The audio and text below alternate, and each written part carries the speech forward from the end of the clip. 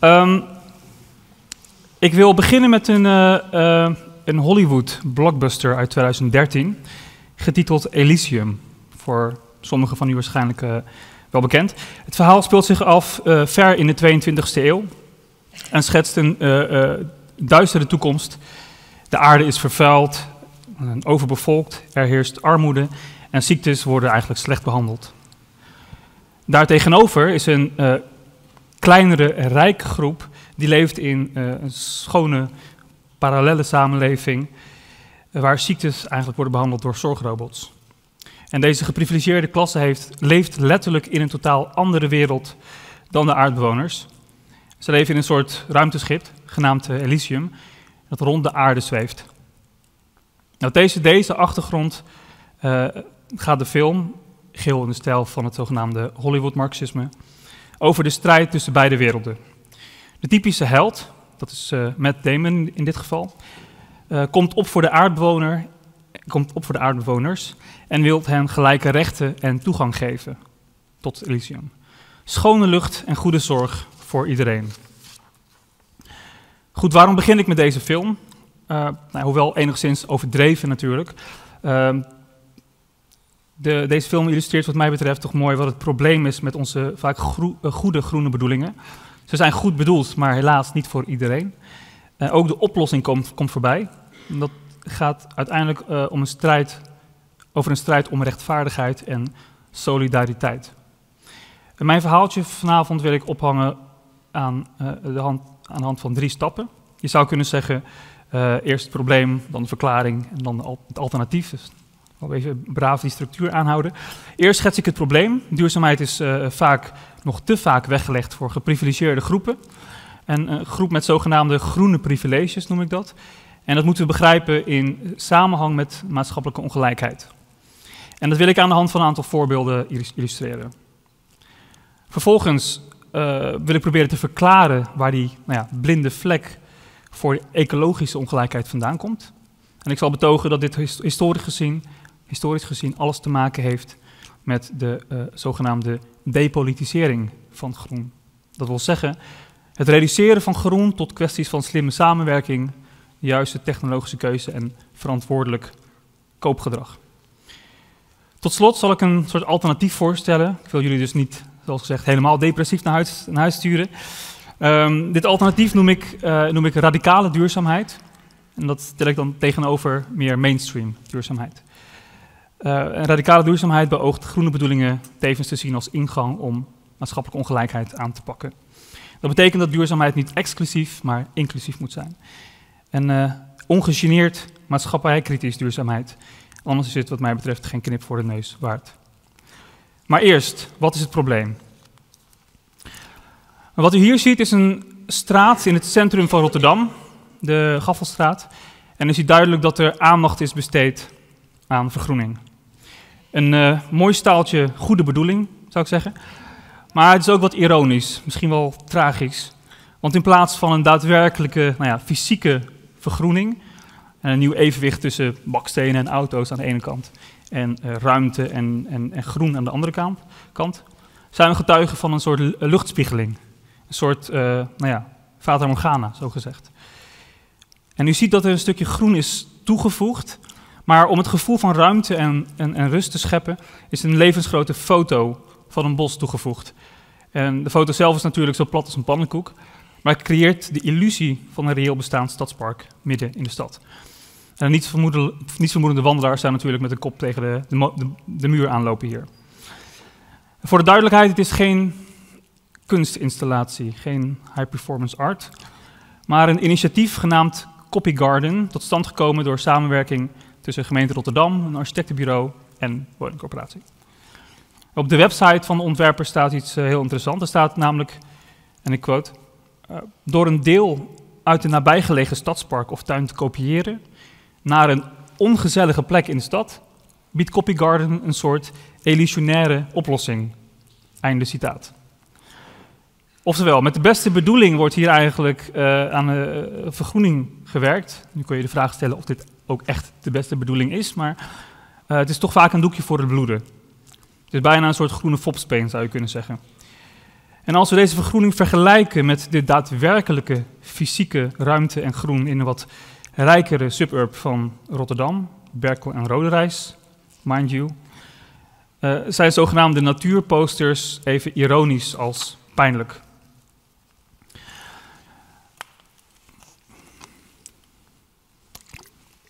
De ongelijkheid die hier, die hier, naar voren komt is natuurlijk, zou je zeggen, sociaal-economisch van aard. Uh, maar dat wordt zeker niet aangekaart met die copygarden benadering. Uh, het verbloemt het en vergroent het. Een ander voorbeeld. De Rotterdamse gemeente en het havenbedrijf probeerden een aantal jaar geleden uh, het, het, stadshavengebied te, te verduurzamen, duurzaam te ontwikkelen. Geen havenindustrie meer, maar stedelijke functies met oog voor klimaatverandering en uh, groen. Uh, tijdens de bijeenkomst tussen ontwikkelaars, architecten en bewoners van een tuindorpje Heijplaat, uh, dat ziet u daar ehm, onderaan, onderaan het midden, tijdens zo'n bijeenkomst werd eigenlijk duidelijk dat de betrokkenen niet op één lijn zaten. Bewoners hadden vooral zorg over jeugdwerkloosheid en over uh, het betalen van, van, van, hun, van huur en hun rekeningen. Terwijl architecten spraken over zonnepanelen en de esthetische kwaliteit van de gebouwde omgeving. En ik citeer een van de, de architecten in, in, dat gesprek.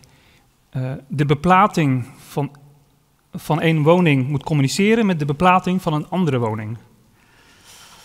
Tijdens mijn onderzoek reflecteerde ook iemand vanuit het project op deze, nou ja, Babylonische spraakverwarring zou je kunnen zeggen.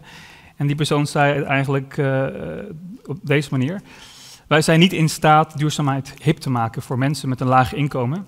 Het blijft nog te veel hangen in een elitair feestje voor mensen met een HBO-opleiding.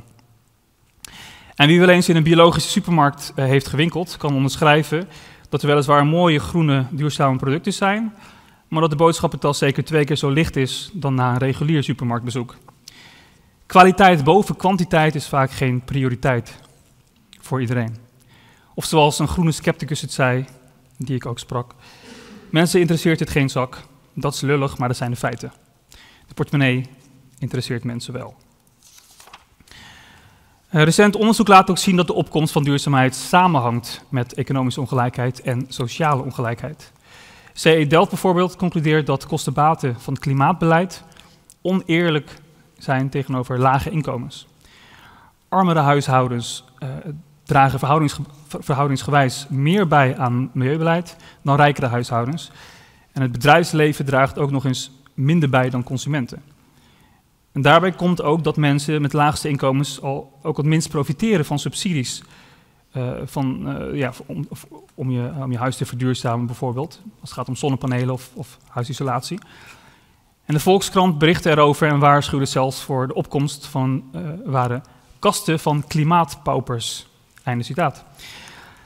Ook vroeg het Planbureau voor de Leefomgeving aandacht voor kwetsbaren. En nu in relatie tot mobiliteit en, en energie. En niet iedereen heeft kennis van zaken als het gaat over elektrische auto's en energiebesparende apps. Er dreigt dus, al dus de PBL, uh, er dreigt een kloof tussen hoogopgeleide en laagopgeleide. Tussen jongeren en volwassenen enerzijds en ouderen anderzijds. Met name als het gaat om duurzame, uh, om duurzame technologie en, slimme technologie. Een ander onderzoek, uitgevoerd door uh, Nederland, laat zien dat mensen met een migratieachtergrond minder betrokken zijn bij duurzaamheid. En belangrijker nog is dat ze laten zien dat het ook samenhangt met andere variabelen, zoals opleiding en inkomen. Om een samenleving te verduurzamen, stellen ze, moet je eigenlijk iedereen betrekken. Dus dat moet inclusiever. Kortom, niet iedereen wil of kan groene keuzes maken. En dat is best een grote groep, misschien ook wel de grootste groep. We moeten dus ook de vraag stellen: over wiens duurzaamheid spreken we? En er zijn grofweg nou, twee groepen die vaak gesuggereerd worden in, in zulke onderzoek als het gaat om duurzaamheid. Uh, er zijn mensen voor wie duurzaamheid een, een prioriteit is. Het past binnen hun budget. Uh, ze hebben ook een vriendengroep die ermee bezig is. Je zou kunnen zeggen een soort groene, nou, groene klasse of een ecologische elite. En daartegenover heb je mensen voor wie duurzaamheid simpelweg letterlijk te duur is. Uh, het is een bonus of het is vaak niet eens relevant. Je zou kunnen zeggen, daar tegenover zo'n groene klasse een grijze klasse. Ze verschillen in wat de Franse socioloog Pierre Bourdieu verstaat onder kapitaal. Niet alleen economisch kapitaal in termen van geld, maar ook cultureel kapitaal, belangstelling, kennis en sociaal kapitaal, netwerken. Dat betekent dus dat groene bedoelingen ook samenhangen met economische en sociale privileges.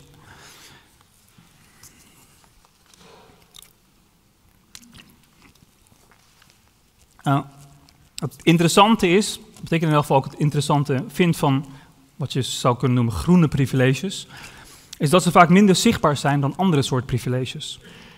Een wit privilege, mannelijk privilege of financiële privileges zijn maatschappelijke privileges die je vaak hebt als gevolg van een witte huidskleur, man zijn of hoeveelheid vermogen dat je bezit. Groene privileges zijn geen oorzaak, maar vaak een bijeffect van andere privileges die je al hebt. Ze vergroenen vaak, de privileges die je al hebt. Dus omdat je al een hoger inkomen hebt, een hogere opleiding hebt of in een betere buurt woont en ook affiniteit hebt met de planeet, kunnen je bestaande privileges ook een groene kleur krijgen en als bonus uh, daarbij komen. Immers, je kan al biologische producten kopen, je kan investeren in zonnepanelen en je zou toch al eigenlijk willen overstappen op die elektrische auto. Vergroening van bestaande ongelijkheid. En omdat groene privileges vaak het gevolg zijn van bestaan, bestaande privileges, zijn ze ook veel subtieler en minder scherp te zien. Groene privileges moeten we dan, ja, die kan je in het nou ja, klein, klein zien in, in, in, de buurt en in, uh, in je eigen omgeving, in de eigen stad. Maar we moeten ze wat mij betreft ook internationaal zien. Ze uit zich ook in ongelijkheid op afstand, in relatie tot andere plekken ver hier vandaan. Denk bijvoorbeeld aan de opkomst van laadpalen en elektrische auto's.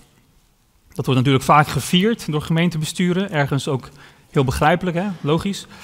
Um, het verhaal dat, vaak, dat minder vaak verteld wordt, is dat er voor de accu's van de elektrische auto's ook grondstoffen nodig zijn, zoals kobalt. En Amnesty International publiceerde onlangs een rapport waaruit bleek dat er kinderarbeid en of, nou, zelfs ook kinderslaven worden gebruikt om kobalt te winnen in Congo. Kobalt is een zogeheten conflictmineraal. Mineralen die worden gemijnd in conflictgebieden. Die ook in onze smartphones overigens uh, zitten. Uh, kobalt komt uiteindelijk dus ook terecht in de, in de accu's van bijvoorbeeld Volkswagen en andere automerken. En het mag duidelijk zijn dat dit een heel ander plaatje is dan dit. En begrijp me goed, ik ben geen voorstander van olieafhankelijk vervoer. Maar we moeten ook eerlijk zijn over het elektrisch alternatief. De toename van elektrische auto's en oplaadpalen klinken misschien geweldig, maar ze zijn ook gewelddadig. Ze produceren ellende op afstand en vaak ver buiten ons zicht. Een ander voorbeeld dat ik wil geven is meer anekdotisch. Uh, afgelopen december was ik in uh, India, in uh, New Delhi. Door de enorme smog daar was ik genoodzaakt een masker te dragen uh, buitenshuis. Um, en op een gegeven moment zat er ook nou, flink wat vuiligheid op. Dat ben ik overigens niet. dat is een, dat is een, uh, een uh, nou ja, verkeersregelaar. Um, binnenshuis had ik een air purifier van, jawel, Philips. Eindhoven natuurlijk. En een stukje Hollandse nostalgie daar. En dat is mij natuurlijk ook niet vreemd. Maar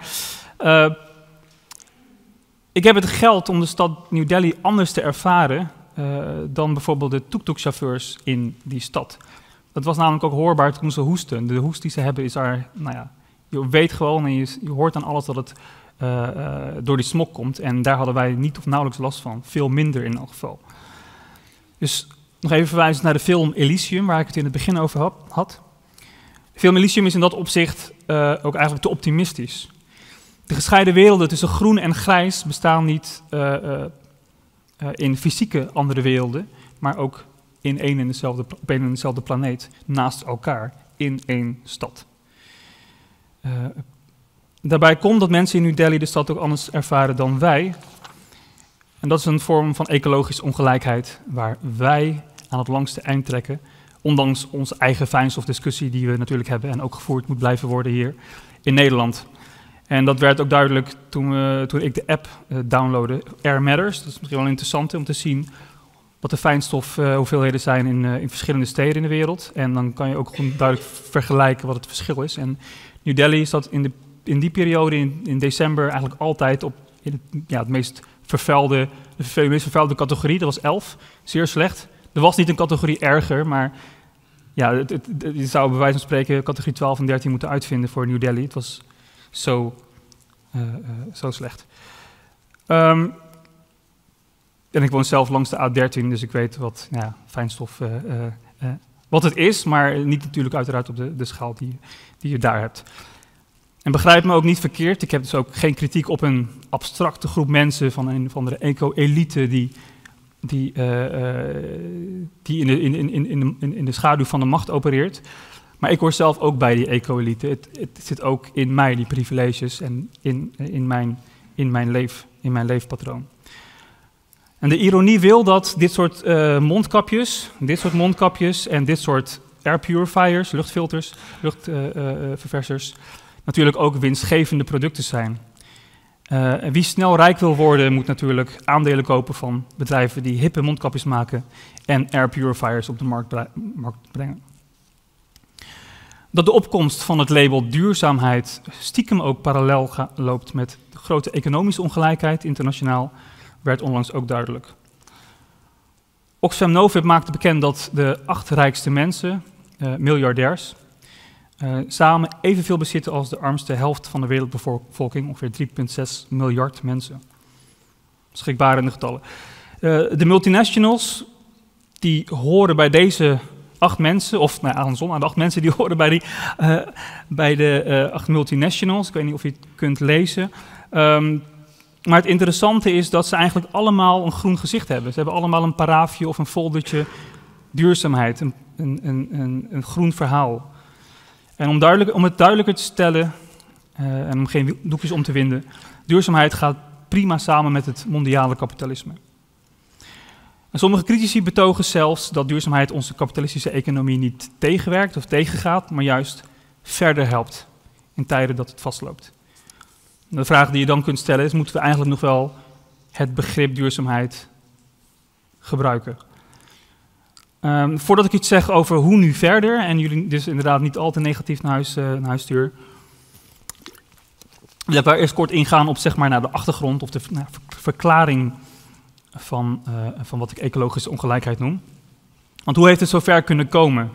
Waarom maken mensen uh, eigenlijk zich zo weinig druk om ongelijke verdeling van groene keuzes en die zogenaamde nou ja, e ecologische ongelijkheid? Nou, niet, niet zogenaamde ecologische ongelijkheid, maar ecologische ongelijkheid. Um, deze verklaring is wat mij betreft natuurlijk van belang om na te denken over de oplossing. Dan heb je een, een, betere duiding, kan leiden tot een betere oplossing of een beter perspectief op groen. Kort gezegd ligt de oorzaak wat mij betreft in de depolit depolitisering van groen. Dat wil zeggen dat groen en ecologie geen kwestie is van maatschappelijke strijd of conflict, maar wordt gereduceerd tot slimme samenwerking, technische innovatie en, die vind ik persoonlijk het mooist, uh, een bewuste groene keuze. Het discours rond groen en duurzaamheid kwam tot wasdom in de jaren 80, 90 en 2000 met name. En uh, niet geheel toevallig is dat nu precies de periode waarin publieke diensten werden geprivatiseerd in Nederland uh, en in West-Europa breder. Overheden, bedrijven en burgers hadden op een gegeven moment vergelijkbare verwachtingen over groei, over welvaart en over technische oplossingen. En anders dan de decennia daarvoor stonden overheden en bedrijfsleven niet meer tegenover elkaar, met conflicterende publieke en commerciële belangen. Overheden en burgers waren ook geen vijanden, geen vijanden meer. En de Amerikaanse filosoof Francis Fukuyama kondigde notabene het einde aan van de geschiedenis.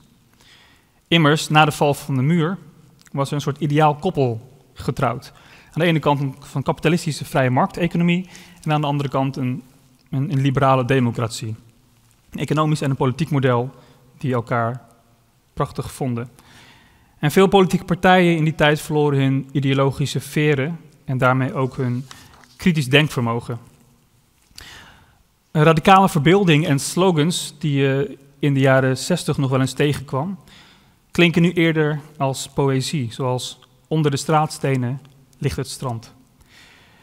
En wat overbleef waren eigenlijk goed bedoelde goede groene initiatieven, waarin men probeerde samen te werken en zo effectief mogelijk probeerde te verduurzamen. Maar om met de Duitse systeemtheoreticus Luhmann te spreken, met verduurzaming veranderen we ons leven zodanig dat er op systeemniveau juist nauwelijks iets verandert.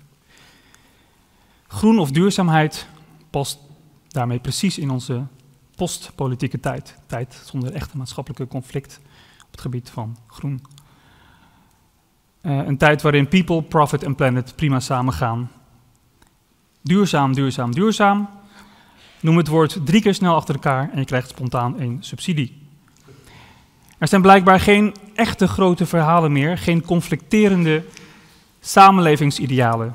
Alleen maar lokale projecten en samenwerkende partners. Uh, ik ga nu waarschijnlijk iets onverantwoords doen, iets doms doen in een zaal met zoveel mensen. Uh, maar ik wil vragen uw hand op te steken als u het eens bent met de volgende vraag. Wie is er voor vrijheid? Ja, ja het, is, het is geen onder gras hoor, het, uh, het mag gewoon. Oké. Eh, wie is er voor democratie? Mooi. En wie is er voor duurzaamheid? Nou, heel mooi. Nou, we zijn het helemaal met elkaar eens allemaal. Uh, vandaag kunnen we, volgens mij kunnen we het afsluiten. um, want ja, hoe kun je ook tegen duurzaamheid zijn? Hoe durf je? Je bent toch geen voorstander van een vieze binnenstad of, een, of de bio-industrie of onverantwoord goedkope kleding? Maar goed, zoals de geograaf en politiek denker Erik uh, zei in de tijd dat Bush nog president was van de VS, zo'n vreemde soort, vreemd soort nostalgie. Um, van George Bush tot Greenpeace tot de paus, iedereen is voorstander van duurzaamheid. Dat betekent dat, dat, het betekent dat duurzaamheid de ruimte is van consensus. Einde citaat. Consensus, iedereen is het eigenlijk daarmee daarover eens, tegenover dissensus, waar het conflict uh, uh, centraal staat. Um, we kunnen die lijst natuurlijk ook aanvullen, van Axel Nobel tot Wakker Dier, van VVD tot de Partij voor de Dieren. Iedereen is eigenlijk fan. En volgens het Financieel Dagblad is de VVD onlangs zelfs uit de kast gekomen als milieupartij. Wonderen zijn de wereld nog niet uit, denk ik. Um, ik zal het overigens niet hebben over de verkiezingen van morgen, dus ik, uh, daar onthoud ik me natuurlijk van. Um, we moeten ons dus afvragen wat het begrip duurzaamheid eigenlijk doet. Uh, hetzelfde geldt overigens voor groen of milieu, of andere vergelijkbare concepten, maar ik beperk me even tot, tot het begrip duurzaamheid. Uh, wat het doet, is het, het, het, het geeft ons uh, sturingskracht. Het is nuttig. Het schept een ideaal waar iedereen zich in kan vinden. Het is zo open en zo'n um, groot containerbegrip. Van links tot rechts, iedereen is er voor. Je kan er dus eigenlijk niet tegen zijn. Hetzelfde geldt voor vrijheid en de democratie. Ecologische problemen worden dan uh, behapbaar, ze worden controleerbaar. De angel gaat eruit en groene politiek wordt zogezegd gepasteuriseerd. Het wordt verteerbaar gemaakt.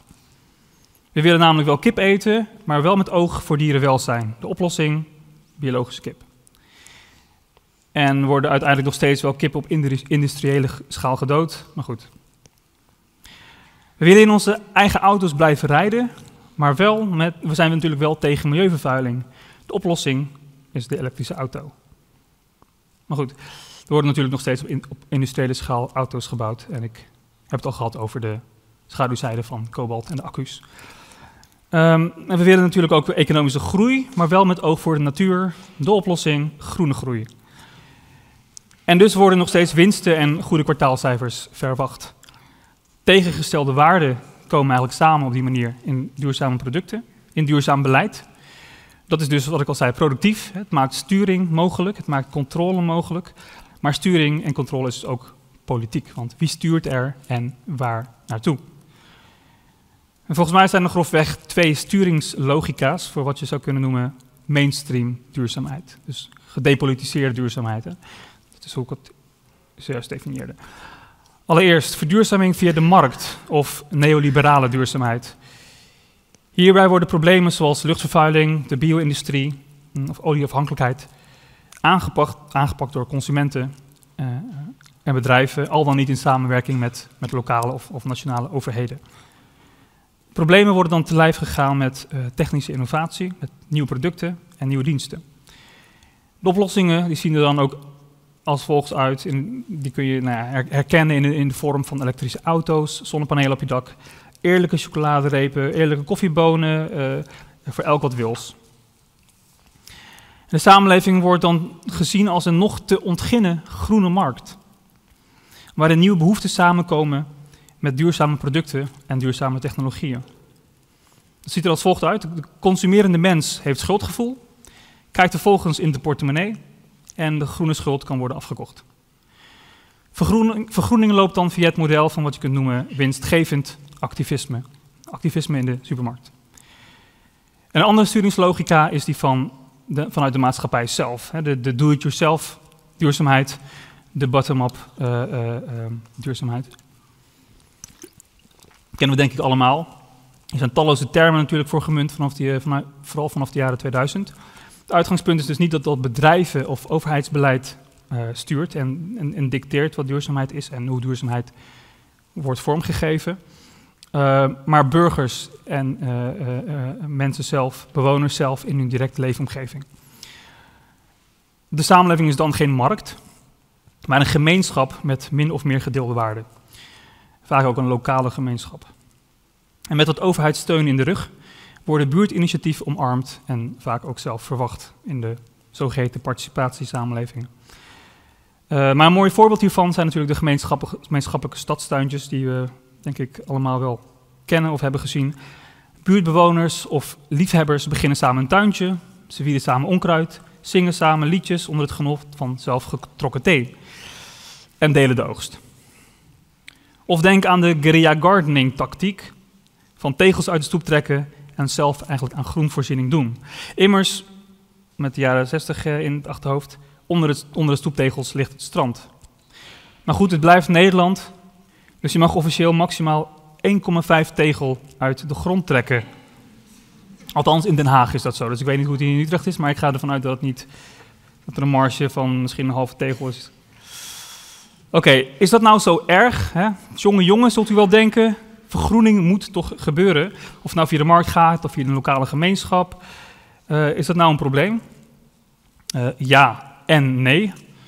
Um, begin met nee. Nee, het is geen probleem, omdat je, wat ik al aangaf, je simpelweg uh, nou ja, sturing en controle nodig hebt om iets te realiseren. Je moet iets verteerbaar en, en stuurbaar maken. Dus je moet het conflict op een gegeven moment passeren. Maar ja, het is natuurlijk ook wel een probleem, omdat het label duurzaamheid een soort nou ja, warme deken van consensus over je heen legt. Je kan er eigenlijk niet tegen zijn. De duurzame samenleving is een ideaal, een utopie. En het eigenaardige van utopie is dat ze vaak ook uh, verblinden. Groene bedoelingen verblinden, denk, ik, op twee, twee uh, significante manieren. Um, twee schaduwzijden. Allereerst uh, worden radicale alternatieven in de kiem gesmoord door de fixatie op marktoplossingen of lokale samenwerking. Als een elektrische auto het duurzame alternatief is, waarom gewoon niet stoppen met het produceren en het bezitten van auto's? En als duurzame bananen het alternatief zijn, waarom dan ook niet gewoon stoppen met ons verlangen om bananen te willen? Die groeien hier ook niet. Nu zeg ik natuurlijk niet dat we ons moeten terugtrekken en, en moeten leven met een soort groen eco-calvinisme, um, zonder levenslust. Uh, maar goed, onze groene verbeelding wordt doorgaans wel beperkt door de beschikbare oplossingen die we, uh, die we hebben en die we kennen. De tweede schaduwzijde, die is waarschijnlijk wel eigenlijk het belangrijkst, uh, gaat over de ongelijkheid die samenhangt met groene bedoelingen. Ik heb daar natuurlijk al iets over gezegd. Het gaat dus ook niet uitsluitend om groene bedoelingen, maar de samen, om de samenhang te zien tussen groene bedoelingen enerzijds en de grijze gevolgen anderzijds. Er zit ook een zekere tragiek in die groene, bedoeling natuurlijk. Want ja, neoliberale duurzaamheid is dan ook vooral weggelegd voor mensen met voldoende geld. En dat leidt vaak tot het vergroenen van bestaande businessmodellen. En het, het, van duurzaamheid en een duurzame buurt kent helaas ook uitsluiting. Die we soms ook wel kennen in de vorm van zogeheten hipsterficatie, die je in elke grote stad wel kent. Ik denk in Utrecht zul je er ook al een paar van die, plekken, hebben. Zijn vaak ruimtes en, en plekken van en voor de usual suspects. Goed, u zult nu denken, ben je tegen duurzaamheid of zo? Wat een zuur verhaal is dit. Eindelijk uh, een leuk avondje luisteren naar een, naar een, uh, naar een, naar een lezing. Kom ik heel pessimistisch weer thuis. Alle beetjes helpen toch? Moeten we niet gewoon afscheid nemen? of sorry, moeten we... dat was een Freudiaanse. Moeten we niet gewoon een voorhoede hebben? Die het goede voorbeeld geeft. En afscheid neemt uh, van fastfood, olieafhankelijkheid, etc. En ook nu weer ja en nee. Want uh, nee, ik ben niet tegen groen of tegen duurzaamheid, omdat duurzaamheid een belangrijk thema is, denk ik. Vooral in een tijd die wordt gedomineerd door, ons, het, door het, het kapitalistisch marktdenken en opkomend ongegeneerd racisme. Juist nu moeten we vechten voor een meer sociale economie, voor een schone economie en inclusieve steden. Maar ook ja, het is een probleem, eerlijk is eerlijk, ik ben ook tegen duurzaamheid. Althans, wat ik noem mainstream duurzaamheid. Omdat het vaak een soort gewelddadige schaduwzijde heeft, uh, die we vaker moeten bespreken en vooral publiekelijk moeten bespreken. We moeten duurzaamheid steunen, maar ook eerlijk zijn over het tegenverhaal. Kunnen we dat? kunnen een duurzaamheidsverhaal vertellen dat tegelijkertijd inclusief heeft en ook aandacht heeft voor kwetsbaren. En voor lage inkomensgroepen, voor bijvoorbeeld kindarbeiders in Congo die meedoen in de keten van onze uh, elektrische autoproductie. En voor mensen die eigenlijk ook niks van doen hebben met duurzaamheid, waardoor duurzaamheid eigenlijk een luxe is, een bonus, nauwelijks relevant is. Ik ga hier niet afsluiten met een concreet voorstel om lage inkomensgroepen gratis zonnepanelen, zonnepanelen te geven en een basisinkomen. Alhoewel, waarom niet? Uh, het perspectief dat ik voorstel, en het gaat me eigenlijk meer om het perspectief, kun je radicale duurzaamheid noemen. radicale duurzaamheid zegt, zet zich wat mij betreft af van mainstream duurzaamheid. Uh, in, in de vorm van ofwel neoliberale duurzaamheid via de markt, ofwel een do-it-yourself duurzaamheid van niet lullen maar poetsen, vaak in een lokale gemeenschap. Uh, radicaal komt van radix, u wel bekend. Dat betekent wortel, dus radicale duurzaamheid is een vorm van duurzaam denken en doen die de wortels van onze economie en samenleving wil bespreken en ter discussie wil stellen. En ja, dan gaat het over economische groeimodellen en dan gaat het over olieverslaving en het gaat over onze vleesfetish, maar vooral in samenhang met structurele ongelijkheid. Als dat laatste niet gebeurt, is het wat mij betreft niet radicaal en ook niet ontwortelend. Nauwelijks de moeite waard. En waarom nog vasthouden aan duurzaamheid, zult u, uh, zult u zeggen? Dat hoeft eigenlijk niet, daar kom ik zo op terug. Maar eigenlijk vooral omdat duurzaamheid, wat mij betreft, een begrip is waarmee je prima meerdere vormen van ongelijkheid kunt adresseren: sociale, economische en ecologische. Het is dus nuttig uh, bij meervoudige strijd bij het, bij het verknopen van groen met problemen van uitsluiting. Goed, is dat een vaag idee van een vage wetenschapper? Waarschijnlijk wel. Uh, maar in de praktijk zien we dat dit soort dingen ook echt gebeuren. Dus vormen, ja, voorbeelden van wat ik radicale duurzaamheid noem. En ik wil uh, naar het einde toe werken toch een paar voorbeelden met u delen.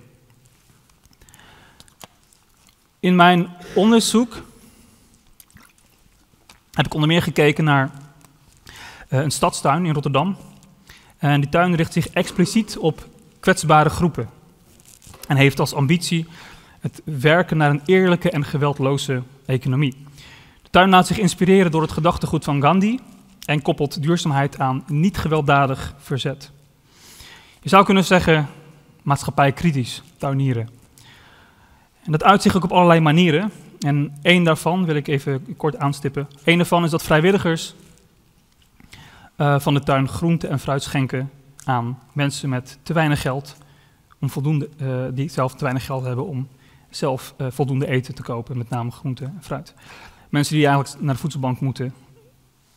en de oogst die over is, of de oogst die er is, die wordt dan aan hen, ehm, aan hen geschonken. Hoewel je de vraag kunt stellen of dit natuurlijk niet ook een doekje voor het bloeden is, um, krijgt groen hier toch wel een ander type invulling. Het betekent namelijk nadenken over duurzaamheid in relatie tot solidariteit en met name klassenverschillen. Dat is een belangrijk punt. Een ander voorbeeld dan. Uit recent Amerikaans onderzoek blijkt dat Europese landen zo'n 600.000 klimaatvluchtelingen per jaar kunnen verwachten tegen het eind van deze eeuw. Voor wie die dat nog niet wist, en ik denk dat de meesten het wel weten, maar klimaatvluchtelingen zijn uh, uh, mensen en families die vluchten als gevolg van die vluchten voor de gevolgen van klimaatverandering, zoals droogte en overstroming. Goed, als graanoogsten mislukken of als voedselprijzen stijgen en je, of je woonplek wordt simpelweg overstroomd, dan ja, wil je ergens anders heen, wil je ergens anders leven, ergens anders wonen. En als we even terugdenken aan de film Elysium, lijkt dat een soort van science fiction scenario, dus eigenlijk minder fiction te zijn. De ellende van klimaatverandering heeft dus ook alles te maken met onzekerheid over voedsel, over werk, over veiligheid. Maar dat zijn onzekerheden vaak buiten ons zicht. En dat betekent dus ook dat als we spreken over vluchtelingen, vluchtelingen, dat we het ook moeten hebben over het geweld dat gepaard gaat met klimaatverandering, vaak veroorzaakt door, ook door onze industrieën en onze economische modellen.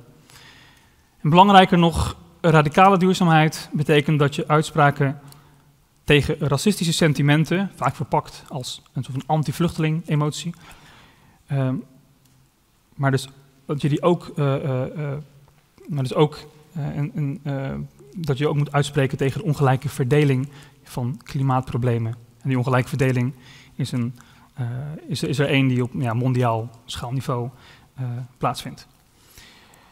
Oké, een voorbeeld wat dichter bij huis. Salade, je bent toch geen homo? Dat werd gezegd tijdens een interview voor mijn onderzoek. Het is iets wat een man te horen kreeg van een kennis toen ze samen naar de McDonald's gingen en, en, en de desbetreffende man er niet voor koos ook vleesgerecht te kopen bij de McDonald's. Ik noem het even een vleesgerecht, maar ik weet niet, ik weet niet hoe ik het anders moet noemen. Um, hamburger, anything, precies, juist. um, ja, ik durf het bijna niet te zeggen in deze, in deze, in deze ruimte. Uh, in, de, in deze uitspraak, Salade, je bent toch geen homo? In die uitspraak ligt een soort homofobe machismo-cultuur besloten. Waarin vlees eten zogenaamd mannelijk is. En salade iets te doen heeft met homoseksualiteit en zwakte. Want de desbetreffende man koos voor de salade. Marginalisering, dat is wat hier plaatsvindt, werkt hier via hardnekkige stereotypen rond seksualiteit en mannelijkheid. En radicale duurzaamheid, nogmaals, betekent dus je durven uitspreken tegen en de bio-industrie en homofobie. Nog een illustratie van wat radicale duurzaamheid zou kunnen betekenen. Uh, tijdens mijn veldonderzoek deed ik uh, ook mee in die Rotterdamse stadstuin waar ik het eerder over had. Dus ik deed mee in het, uh, in het onkruidwieden, in het oogsten, et cetera. Maar wat bleek, de, de tuin had een uitwisselingsprogramma met een schoolproject met, met Palestijnse kinderen uit Gaza. En de kinderen waren dansers en kregen een rondleiding op die dag in de tuin. En al gauw werd duidelijk dat uh, bomen uh, die we daar in de tuin hadden uh, en zelfvoorziening, daar gaat het ook over, um, voor die Palestijnse kinderen eigenlijk iets heel anders betekent dan die stadstuin in Rotterdam. Met name de olijfboom kwam ter sprake. Niet zozeer als economische waarde, hoewel uh, olijfolie nou ja, zo'n 14% van de Palestijnse economie beslaat, um, maar vooral als symbool voor verzet, voor veerkracht van Palestijnen uh, uh, tegen Israëlische bezetting. En dat werd ook duidelijk gemaakt door de kinderen. Radicale duurzaamheid betekent dus ook een identificatie met kwetsbare groepen. En je dus ook uit durven spreken over de rol en de betekenis van groen in Palestijnse gebieden. En het laatste voorbeeld dat ik wil geven. Um, het blijkt namelijk dat uh, groene lifestyles en groene keuzes vrij weinig betekent voor mensen met een migratieachtergrond. Anders gezegd, groen is nog vaak wit. Gelukkig zijn er kleine initiatieven om, om dat te doorbreken. Denk aan Fawakka Nederland, volgens mij komt die zondag bij Tegenlicht ook voorbij. Um, die kinderen uh, met een migratieachtergrond opzoeken en laat denken over duurzame idealen en initiatieven. Of denk aan de groene moslims, die ook, die ook groene idealen hebben en die koppelen aan meer religieuze betekenis en een soort spirituele, spiritueel gesprek. En daarmee die niet-usual suspects, suspects betrekken en proberen aan te spreken. Goed, u zult zeggen, gaat dit nog over duurzaamheid? Ja, ik denk van wel. En belangrijker nog, het gaat over groene bedoelingen die strijden ook tegen uitsluiting en tegen ongelijkheid. Vanuit het perspectief van uh, radicale duurzaamheid volstaat het dus niet groene bedoelingen te hebben op één gebied en grijze bedoelingen te hebben op een ander gebied. Dus zoals ik radicale duurzaamheid zie, bestaat er dus eigenlijk niet zoiets als een als part-time groen. Je hebt een soort van flexitariër oplossing, maar vanuit radicale duurzaamheid bestaat dat eigenlijk niet. Um, en ik denk ook dat we die strijd moeten stapelen. Het idee van radicale duurzaamheid is geïnspireerd door het kritisch feministisch concept intersectionaliteit. Ik denk dubbele woordwaarde, maar ik uh, zal even kort toelichten. Um, voor een aantal van jullie denk ik wel bekend. Intersectionaliteit betekent simpel gezegd dat marginalisering op één vlak, op één dimensie in je leven, bijvoorbeeld seksisme, dat dat ook vaak samengaat met andere vormen van marginalisering, inkomen, etniciteit. Als we het dan hebben over groene bedoelingen, moeten we denk ik beter nadenken over een soort morele consistentie. Met name als je sociale privileges geniet. Dan zou je groen niet moeten beperken tot het verminderen van je eigen ecologische afdruk via de supermarkt. Dat geldt ook voor mij. Ik ben ook meervoudig geprivilegeerd, net als de meeste van u. En als je je beperkt tot één duurzaamheidsthema, prima, maar dan is het niet radicaal. En belangrijker, dan is de kans op het vergroenen van bestaande reële ongelijkheid levensgroot. Kortom, het is niet voldoende om alleen voor het milieu te zijn of alleen tegen de bio-industrie, als je nog dagelijks privileges geniet op basis van je inkomen of omdat je toevallig een mannetje bent. Op dezelfde manier betekent antiracisme ook niks als je je niet inzet voor rechtvaardigheid rond ecologie en klimaat. Het, verstaat, het, volstaat bijvoorbeeld dus niet zonnepanelen te hebben of een elektrische auto te, te bezitten en tegelijkertijd voorstander te zijn van de figuur Zwarte Piet. Of daar neutraal of indifferent tegenover te staan. Dat is selectieve verontwaardiging en selectieve rechtvaardigheid. Je zou kunnen zeggen inconsistent idealisme. Als je kijkt naar onze politieke partijen, zijn denk ik weinig partijen te vinden die groen of duurzaam zijn, uh, die groen of duurzaamheid op die manier insteken. Ze zijn er misschien wel, maar bevinden zich doorgaans uh, in de marge tegenover een soort van mainstream duurzaamheid. Die gedepolitiseerde duurzaamheid, die duurzaamheid isoleert en in bepaalde, uh, daar bepaalde afdelingen voor heeft en bepaalde portefeuilles aan koppelt. En om het verschil nog scherper te stellen, als mainstream duurzaamheid een lifestyle is, is radicaal radicale duurzaamheid een politiek engagement. engagement. Je zult denken, oké, leuk verhaal, maar wat moeten we dan doen? Je maakt het onnodig ingewikkeld, zoals vaker met die lastige sociale wetenschappers. Ze denken niet vaak mee, maar vaak tegen. Uh, mijn pleidooi voor radicale duurzaamheid biedt geen pasklare antwoorden. Kijk wel uit. Het biedt hopelijk wel een perspectief om kritischer te kijken naar onze groene bedoelingen en die anders te definiëren. En ik noem drie mogelijkheden en dan sluit ik af.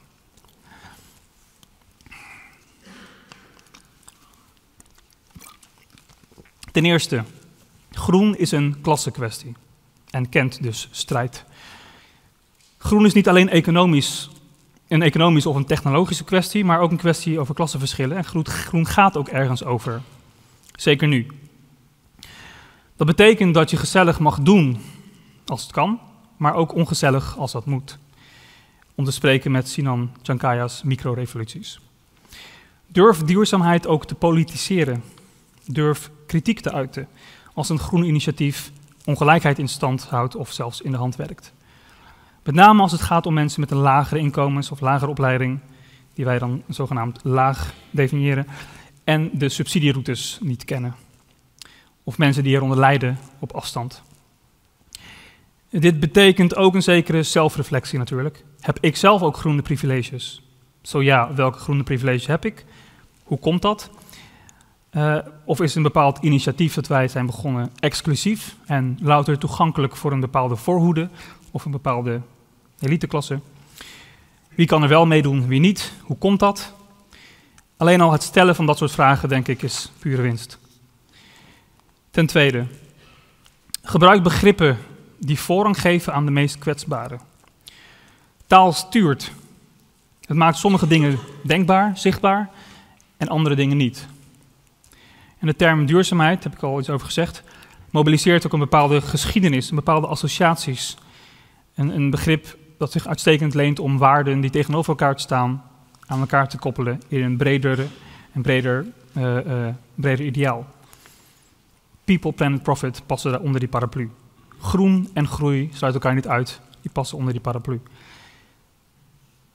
En misschien moeten we dus ook het begrip duurzaamheid soms even niet gebruiken. Of gewoon voorlopig afschaffen.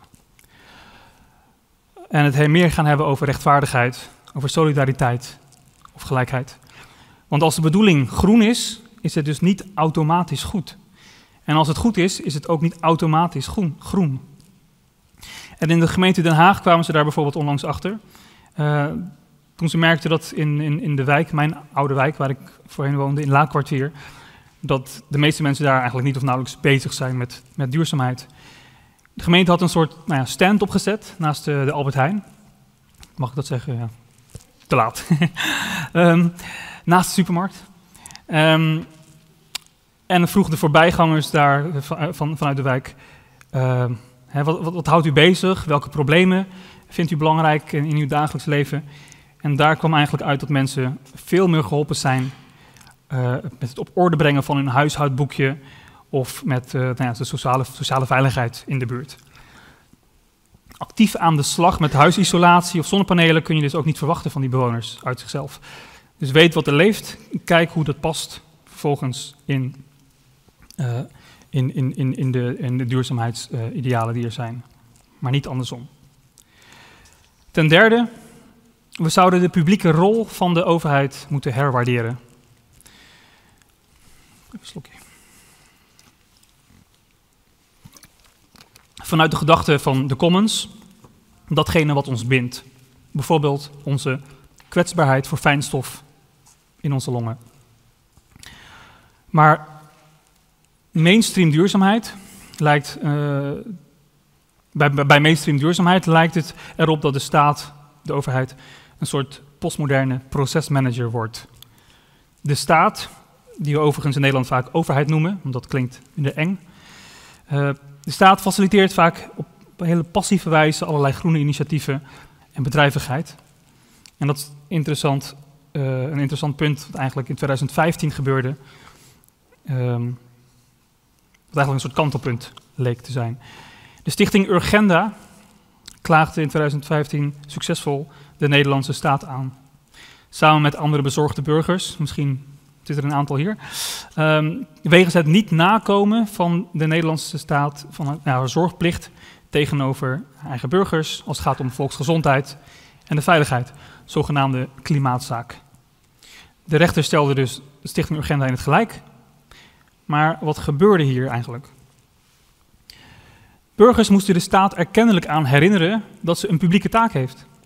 En groene plannen dus niet te makkelijk kan outsourcen naar de markt of naar een aantal enthousiaste burgers.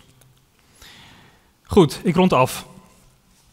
Ik ben geen eco-pessimist, maar ook geen eco-optimist. Het is namelijk goed denkbaar dat we uh, prachtige duurzame steden ontwikkelen, maar dat die steden ook groepen uitsluiten. Omdat het probleem van ongelijkheid niet wordt aangekaart. Het is niet ondenkbaar dat we een groene en schone samenleving krijgen van en voor een geprivilegeerde klasse. En dat die parallel loopt naast een grijze samenleving van en voor mensen met een laag inkomen en een lagere opleiding.